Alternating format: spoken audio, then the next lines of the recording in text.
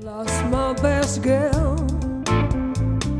She was a real good woman. She didn't do me no harm. She was a real good woman. She didn't mean me no harm. But I loved another woman. Now she up and she gone.